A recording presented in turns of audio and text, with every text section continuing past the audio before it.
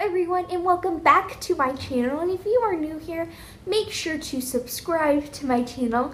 So today we are going to be doing some Christmas room decor tips tricks hacks. Um, I am so excited for the Christmas season and I'm so happy that it's here. So um, without further ado let's just get into it.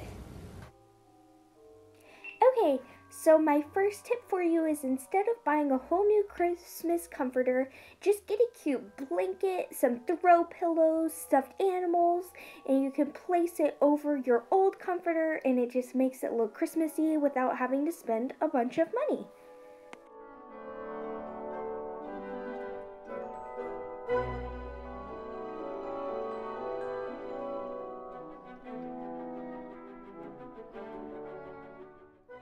Lights to your room makes your room look so much more cozy, so I love doing that. Next, let's go on to the Christmas mug. So just get a cute mug. I have this Santa one and fill it with candy and you have a little candy stash and it also makes great decor anywhere in your room.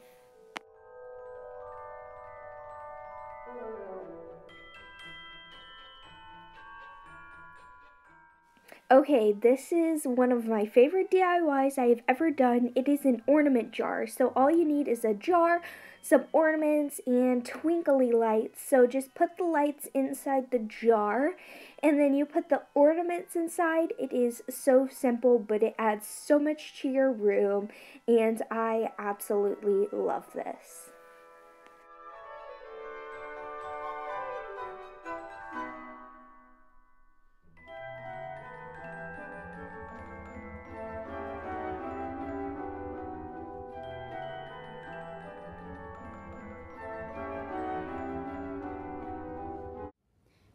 You guys enjoyed that video. Make sure to like it.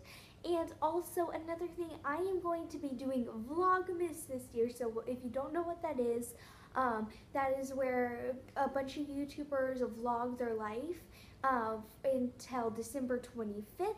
And so I'm going to be doing a weekly vlog, posting it every Wednesday until Christmas. So make sure to subscribe to my channel and come back on Wednesday to see all the vlogs. And I'll see you next time.